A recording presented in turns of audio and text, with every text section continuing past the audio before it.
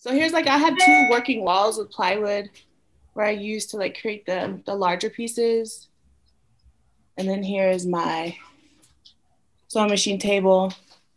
Another one. So I'm pressed for space all the time. Yeah. Pressed for space. And constantly negotiating these spaces too. Um, my oldest is getting ready to come back home, so I'll lose probably that back room. Um, but yeah, this is your, it. Your working environment and home environment, I mean, they seem so connected. And I think, I mean, yeah. it's, and I also see that in your work. Um, I mean, I don't know. I think, do you think if you moved the studio out of the home, like how it would change how you create, how, how, you know, the work is developed, even the work itself? They're pretty inseparable, but I feel like that's what I kind of like built my studio practice on yeah. Especially at Yale, I was just asking people to send me materials from home just because I couldn't afford materials when I was at Yale. I had to, I was really budgeting because I had my home here and then I was housed there. Um, so it's just what I can get my hands on. But but then I discovered assemblage and like what the history of that art practice and that art form is. And it, it's exactly that. It's just like sourcing materials that are ready made, found, borrowed, um, so just working with that and it worked. It clicked really because like having these materials that have already lived and that are like like just like carry a lot of meaning anyway and then creating like that third space um, through how i join the materials and like assemblage and like creating these objects to create a third space is like i, I love it. I'm so glad that i found that. I'm so yeah. glad i found it no, definitely. Yeah, because I went to school for painting. you know, I, I, I, went to Yale because uh, for painting, I thought I was going to paint. Maybe I will one day, but like it just didn't happen there. Yeah. And how did it change then? Like after Yale? I mean, how did you? I mean, well, one question I have is even just how you started making art. I mean, where did the the kind of interest from art come from? I think I found well, I've always been like making and as a kid and drawing and those things, you know, like I wasn't ever groomed to pursue art um, as a career or profession. I wasn't, um, we didn't go to museums, we didn't go to galleries. It wasn't like something that um, I knew in that way, but I feel like I, I started when I, I found painting when I was at um, the University of Oregon during my undergrad. I found painting my last, my senior year there and I was like stoked. And also I saw that um because I double majored in art and ethnic studies because as soon as I found art, I just like took all the classes. Um, but that piece, uh, it will always stick with me. Couple in the Cage, by Guillermo Gomez Pena and Coco Fusco, Coco Fuco. Um, that piece like changed the way I saw art, the performative aspect, the materiality of it, the gesture, um, and they were implicating the audience based on those things. I felt like it was that changed the way I saw art, and then I after that I wanted to pursue like a, a practice. I didn't know what it was, but I wanted to see what that was. And so after the University of Oregon, I came back home to here. It was my first time living on my own. I was single mom. I had my oldest with me at that time, just one one kid. And then I lived on the river um, worked for my tribe in their um, public information department with a cousin of mine. Uh, we did the newspaper for my tribe, but then also at that time I was like trying painting in the, in the studio, which was also the back of my house. and then I built up enough work, and then I applied for a program in uh, Aotearoa, uh, New Zealand, and it focused on uh, Maori Indigenous arts, but also or contemporary art, but also I I um, focused on indigenous visual arts while I was there. So then I just applied with that work that I was doing in the back of the house, the painting, and then went there, got my master's there. But it just wasn't it wasn't what I needed. That program just it, I think a lot of the times like indigenous art happens like in things thinks that it happens in a vacuum like it's not informed by other things so you're just like really like narrowly looking at um, art in that way. And it just wasn't, because that's not my experience as an Indigenous woman. Um, so I just came home. I was, I produced a body of work that I, it's, it's still my favorite to this day. A really powerful work that I feel is powerful. Um, I came home and then I decided like I want to be a mom. I want to focus on growing my family, and I had um, an experience at the who was it the Smithsonian. I don't remember their acronym, but it starts with an N. It's like specifically for Native art and like that collection. Oh. But like I just was not impressed with how they were. I just felt like it was really static in the way that they were performing Indian. The participants, I felt like it was really static in the way that they were seeing Indian, and it was really static in the way that they wanted to um, show what kind of art was coming out of our communities. And so, like, I'll tell you. Talking about the Smithsonian. The Smithsonian? Was this at the Smithsonian you're talking yeah, about? Yeah, it was at the NMAI, I think it's called. Can you, I want to be like specific on that specific place. Is where the, is it like in the financial district in New York where that big bowl is? It's down there. This was like okay. years ago.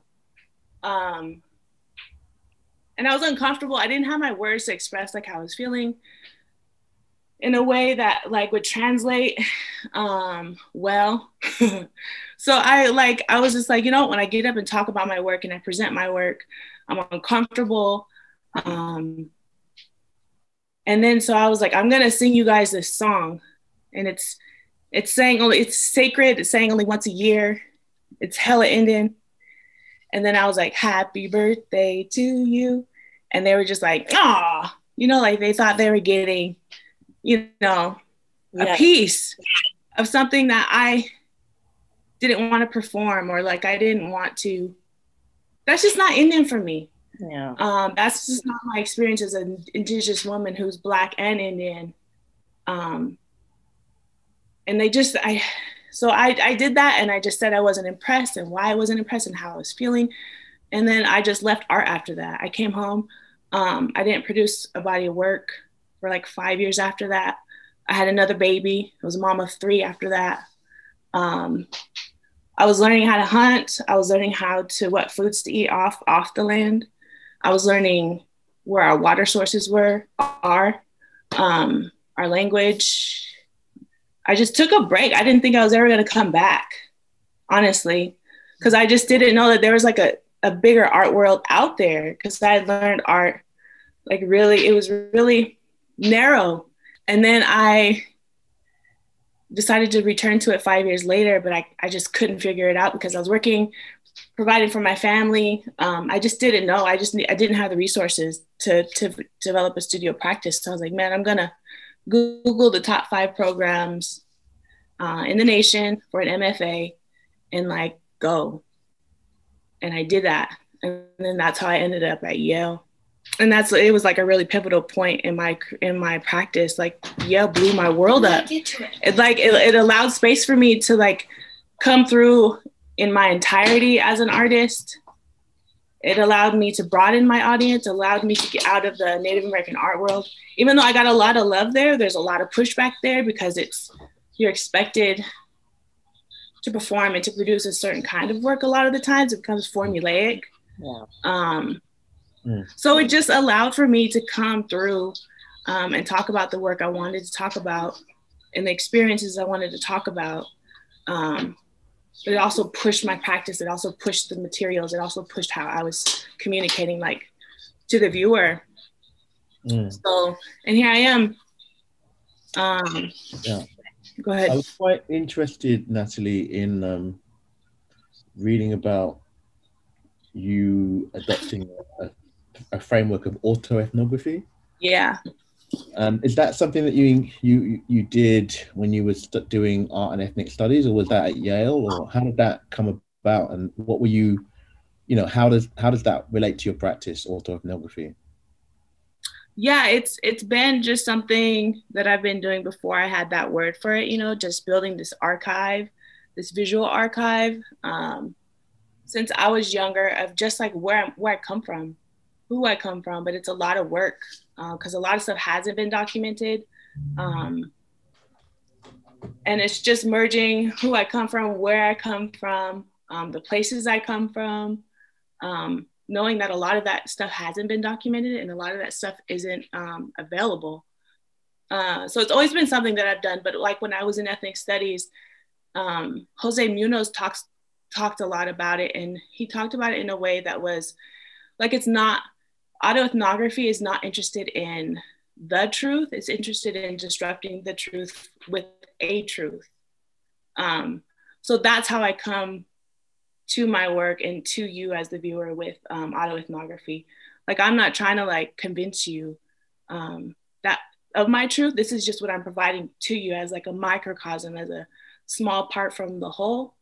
Um, but it's always been autoethnography a part of my practice because it's I just believe that it's important to know where you come from if you can know if that information is available to you because there's a lot of like erasure um, that's happened you historically. about thank you.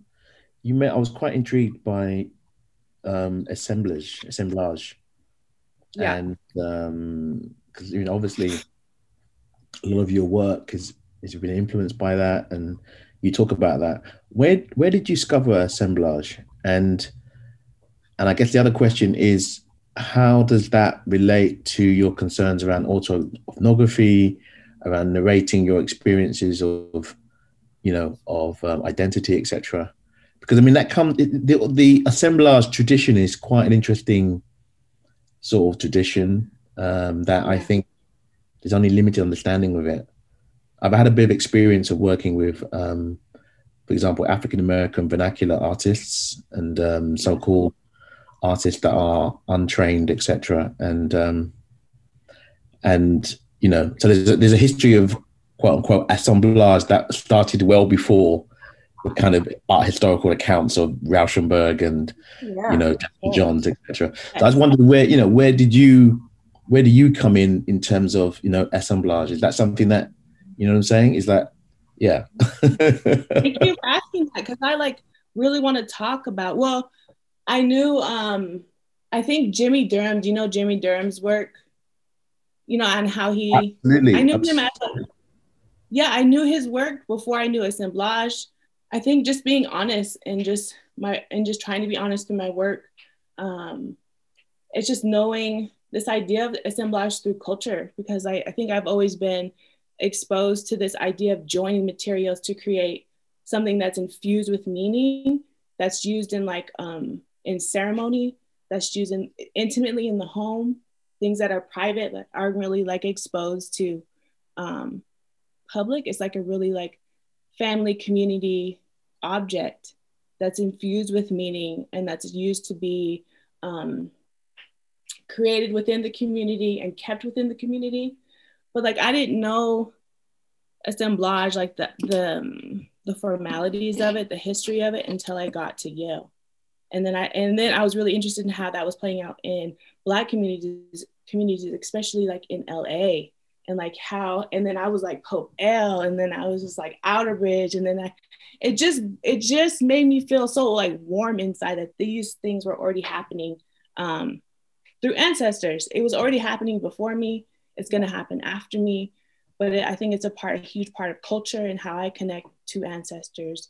But I saw when I was at I think I was at the Met.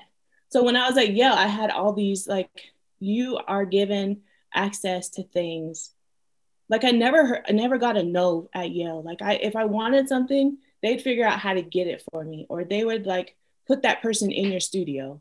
So like it, it just blew my mind, like how like how heavily resourced this space was. And then I now had the opportunity coming from where I, from where I came from. I was older. I was in my 30s at that time. It just it was a really hard but beautiful experience. Um, where was I going? Oh yeah, so I, I, they started using the language um, of power objects in my practice. And so a big part of my being at Yale was like learning a language around my work and like building one. And so I was like, well, what the hell is a power object? And then I went to the Met, and then there's a whole collection of collected objects that are these assemblaged objects from like different cultures, especially Africa, um, South America, that are power considered power objects. And I was like, oh, that's what they are. Like, that's what I was seeing um, in ceremony. That's what I was seeing in the home. That's what I was making already. So that's where I'm coming in at. And then I'm using then assemblage in creating power objects then to create that uh, third space to talk about indigeneity that's full of intersectionality. And then that's where i that's like where i'm coming in at. And that's what i'm offering um, but it's not i'm not trying to teach you. I'm not trying to learn you. Um, i'm just trying to create these objects that can hold their own without having to know any any anything about me where i come from just hopefully hopefully that you can feel some sort of viscerality or some you can feel something from it and you can engage with it formally even. So that's where i'm coming from through like assemblage. And like jimmie he's not even like native. He came, he was like exposed when i was at yale because he had that huge retrospective at the whitney you know?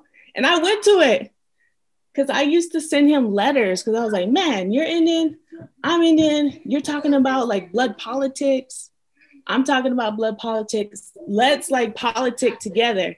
And like I sent him like letters, like handwritten letters for years. It mm-hmm. wasn't like every day, but it would be like maybe once every other month. If I was feeling it one month, maybe. You get replies from him? Did you have a dialogue? Oh, he never. Mm-mm. He never did and now I know his speech. Like, yeah. But then like, okay, and then like, but I love his work. Like I saw his work and like I'm just it, I love his work. And I'm, I'll show you this piece in a minute. Um, so I was like, Yale is heavily sourced. They're probably not going to tell me no. And I was like, can you get me Jimmie's contact information directly, his home? and I got it. and I still have it. I didn't contact him because he never responded to him. He never responded to that violence that he. I feel like what he did is a is a is a kind of violence. Like he held a sort of space. He took up a sort of space um, that didn't belong to him.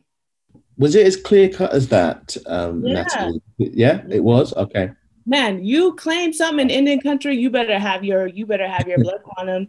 You better have all your you better have you know what to do and if your community is not claiming you, if you can't claim blood quantum, and if your community is not claiming you, and if the tribe that you claim sent a letter out saying they're not claiming you, you ain't in it.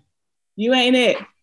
Wow. So, yeah, it's hard to it's hard to um, get away with that in Indian country because identity is so heavily policed. Like you you you know, and he got away with it for a really long time, and I'm not sure how but I'm impressed by that. I mean, he was like, he's one of the most famous contemporary artists. And as you say, all of his work is kind of based on, you know, his identity as Indian. I mean, I've seen, as you said, I loved his work. I saw, I first saw his work in Paris in the, the Museum of Contemporary Art, a huge yeah. solo show, massive solo show, his work. And it blew me away. I was like, wow, this work is just incredible. But as you mm-hmm. said, you know, then all of that I mean, does do you think that does that the fact that he's not authentically Indian does that take away from the power of his work, or how do how yeah, do you? It does. Yeah, it does because it's like he's a he's a white man, right? Uh, uh, a white man did that. Um, yeah. you know, like how dare you do that? Like come come through. You're already privileged. You're already gonna be famous anyway. Why do you got to take that? Yeah. Um, and he claimed AIM, you know, American Indian Movement, and my dad was in that, and he was like, I don't remember him. Um, oh, I, I, didn't realize it was that. Um, yeah. It's that deep. Um, what was I gonna say? Yeah, I mean, it it it stings, but also um, we should just keep it pushing because also I'm I'm interested and invested in invested in um, challenging Indian and challenging Blood Quantum, yeah. and I feel like he did that he created a space for that. Um, he occupied the space that we could have been we could have been in, but I I'm I don't um, completely disregard his whole his his work. You know, I'm I still um, go back to some of his work. I have a book right here that I'm using um, as a piece um, in that I'm working on. So I just feel like it's a conversation rather than to just totally like ignore him. I feel like it's a he's a conversation. He's something that we should be talking about as we push forward. Yeah. Um, but he's never apologized either, and I feel like he should have. I was waiting for that apology. I think apologies matter. yeah. I'm just interested in holding space for um, not him, but I'm interested in holding space for the, the ones that are coming up. Um, So if I can be a part of that conversation with Jimmie and with like these other artists who are in like the the vein of assemblage, then we're gonna be all right. I was also really quickly curious because your work it also has this really interesting combination between, you know, in the assemblage, you know, the hand stitching, the very kind of um, ancestral materials, the um, you know, very, you know, whether it's shells and um, bullet shells and real shells oh, yeah. and wood and i mean but then you also have all these synthetic materials and very kitschy hmm. materials and if you could just talk about the relationship between those two contrasts a little bit and how that um yeah i don't know relates in your message or yeah i just i just feel like it's um i'm not sure it's just it's just these materials are where i come from i come from uh, in urban and rural communities, two communities. Um, and these are materials from both of those spaces. Yeah. So I feel like that's it's just um, it's just literally from these spaces. Uh, so then I, I I gather, I'm given, I buy materials that, yeah, are from these spaces and from my experiences in these spaces. Um, like the football, you know, jacket letters. Yeah. And, and that's about like spectatorship and that's about like performativity. Um, and that's about performance of Indian, really. Um, and thinking back to how we, I think blood politics is constantly in my work, and I won't ever, I don't know if I'll ever not talk about that until we're not dealing with that. Uh, I don't know if you know about like blood quantum um, and like the a little bit. I'm educating myself yeah. about it. Can you talk us a bit about it? Yeah. Yeah, if you could tell us, that would be. Yeah, it's like um, in order to be recognized, there's a whole history of it. And I feel like it was like in the 1700s, the government established it. Um, how they explain it, it's like, oh, it's weird blood quantum. You have to be a certain blood pedigree to be Indian, to be part of these, um, to be registered with these tribes.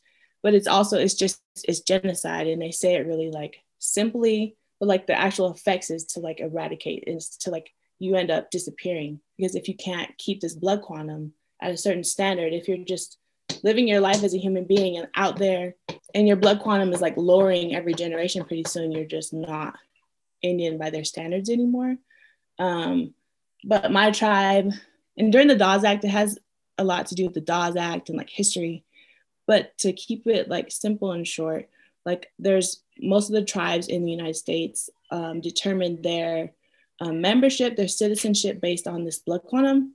And everybody has um, different like pedigrees, like fractions, one fourth, one eighth, sixteenth, just all different kinds. And and it's um, some of it's based on like matriarchy, their their mama side. It's all different, but my tribe uses it as a standard too, even though we're sovereign we still use this way to identify through blood quantum, which is like a government tactic. And we have the choice to get rid of it and to define community and membership old, the old way. Um, where we're not doing that. And so my a lot of my work is talking about that. Similar to Jimmie, like I feel like he's more abstract and like really poetic about like Indian and like these things that he's talking about because I don't feel like he's like lived it. So he had to come at it that way, right? Um, but my my stuff is like factual, like this is what I'm dealing with, um, and how that plays in plays into like who I choose to have kids with, and like having that conversation. I did a body work called Mama Bear 2, um, and was it last year 2019 i did that body of work but that's just thinking about those blood politics through motherhood um, I have three children, two are enrolled, one isn't. But then also blood quantum. If you don't have this tribal ID, then it limits your access to your homelands. Um, you can be in trouble if you're not um, enrolled and you're out here hunting and you're out here doing what your ancestors did. We disagree with it. I disagree with it. I'm raising my kids to, to, to talk about identity and who they are outside of that even though we engage with it, but we also are navigating it um, too. Like I have this space, I have this home, right? I have tribal housing because I'm enrolled. As I've enrolled my blood quantum into my tribe, and then then I get benefits. I'm protected in a certain kind of way. Um, Can I ask a, a bit a question about the blood quantum? So it was effectively made up by the American government, not by the communities Yeah. themselves. So obviously it came out a particular way of thinking about race, which was uh, Yeah. common at that time. Um, for example, African Americans were declared three fifths of a human um, in the Mhm. initial uh, construction of the American Republic. So you can see that these kinds of but I, I must admit, I thank you for this is really educating me very much in this. I wasn't, I didn't know about the the blood quantum. I'd always assumed that those ideas came from the tribes themselves, but actually, we keep know. them. yeah, we keep them it's just like we, it's just this huge constant battle like it was up for well also like i feel like it helps like i'm really privileged to be able to come from another community like my being raised by like a black woman in a historical black neighborhood in portland within a native community like i coming from that i know another way of belonging like there's there's a different way to belong to community and to a people that's outside of blood quantum and i've experienced that. Um, and not all belonging happens around blood quantum in our communities. Like there's lots of different instances that create community but blood quantum is like the daddy. Yeah i just we had a we had a chance. It was up for like you can't vote in my tribe unless you're enrolled so my oldest she can't vote even though she's like heavily involved in like politics and she's um in school and she's wanting to like engage but she like it stops her from like engaging completely um, but we had a chance to, um, Blood Quantum was up for discussion at our tribe a few years ago. And we, it was like a huge debate. And we um, voted to lower it. Um, and then that increased our numbers um, who were enrolled. But I was a descendant for most of my life. I was not enrolled for a while, for until until like 2013 so it's just something I talk about. It's something that affects me, affects my children, affects the way I move, affects what I do with my body. Uh, has it, it's funny. It's like ah, it's blood quantum. I know it's like petty, but race is like a social construct too. But it has like serious implications. It has serious, serious implications, and like I feel like we should be talking about that. And so that's what a lot of my work is about. When you see like um, those chenille lettering and like these idea of um, mascots maybe and Letterman jackets is like the the performativity of um, Indian. um, Natalie, um, it's, no, it's super fascinating. I, was, I mean, I guess moving from blood to water, I was just wondering what what what you make of. Obviously, that's the Verbier 3D residency uh, theme that you're responding to, but I just wonder Yeah. what water means to you Yeah, personally in your practice, culturally. You know what how you're kind of addressing it in the context of the residency. yeah. I'm not sure yet. I just chose. Um, I'll get there. Yeah. But I just picked water because it's um we're fighting for water um at home. Uh, we are. Go ahead, son. We it's huge. Water is life. I know that um that was very that was made that was made public. That was made um people were made aware of water is life. I feel like when Standing Rock happened, um, um, but that message that message has been around. We've been fighting over water for a really long time, um, and Indigenous people in America specifically. Um, and right now, we're getting ready to sue the government because of um, they're letting. Well, it's a huge fight. It's been happening before I was born. It was happening before my dad was born.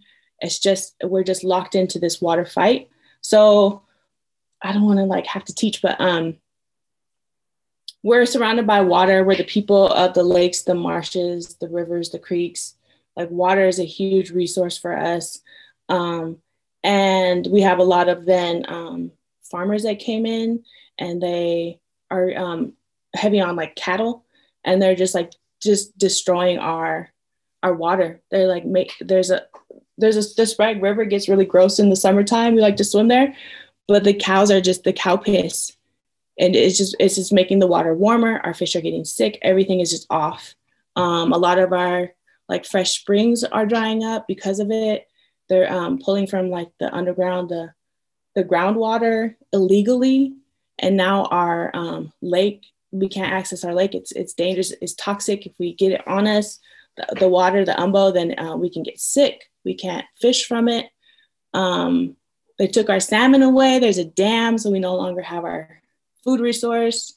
It's just, and now our c'waam, we have this like prehistoric, um, beautiful suckerfish that I think there's three, two to three different kinds, but now they're endangered um, because of the water quality and because of the farmers are illegally taking the water.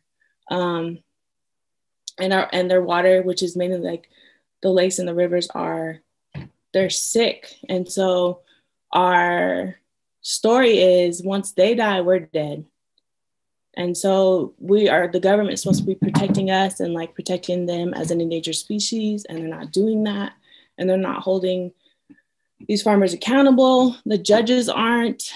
Um, we had that huge wildfire this summer, um, and they were pulling to fight the fire. They were pulling water from our lakes, our lake, and so that was even like lowering the water level. It's just, it's a huge, it's fucked up really like that's how i can explain it. It's like it makes you just uh, disgusted sad uh, angry. Yeah. Because um, water is life and like how it's it's it's violent. It's extremely extremely violent. And you are telling me that i don't matter and my children don't matter. And um, my ancestors didn't matter. You're telling me that by doing this. And i just um, we're fighting for water. So i don't know. I think my time with this residency is going to help me um, see outside of what's happening because I'm just in it. Like, right, it's just like it's in it. We're in it, and I feel like I'm. I'll be able to ask questions somewhere else and then pull from that something fresh here because I um I'm I'm down I have to protect my home. Like I'm down to protect my home and like maybe from it I'll find another way to artistically protect my home better you know? I'll um through art. Like i'm yeah i'm committed to my practice. I'm committed to my communities. I'm committed to um, my family. And so i maybe like something that i'm going to pull from here this time this research is going to help us here you know? Maybe i'll i'll maybe i'll build like an, an a suit or something like like a water suit.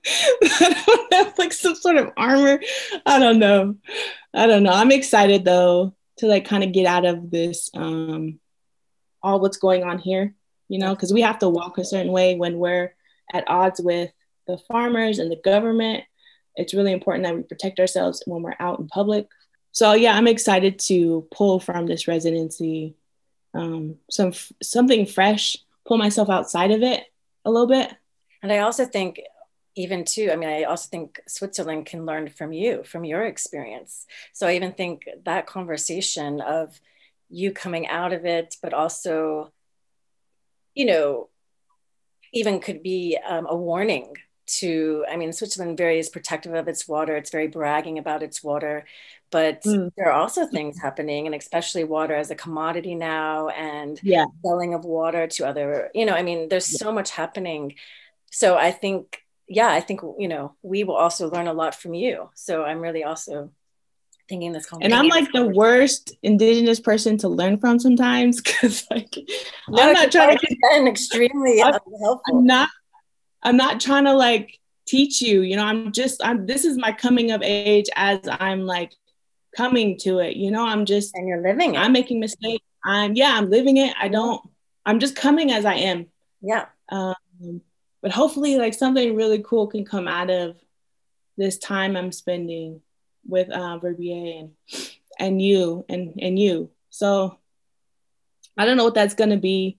Um, I know we're all living through like a pandemic, and but I'm excited to produce something because like water is definitely life, and um, yeah, maybe I'll.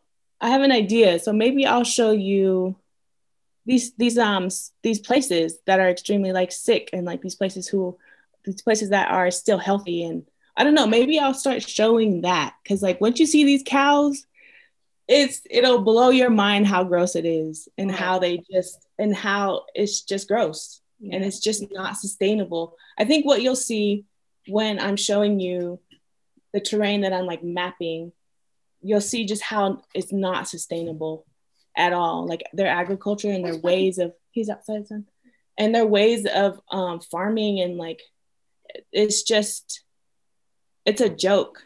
It's just crazy how they think that they, this is sustainable.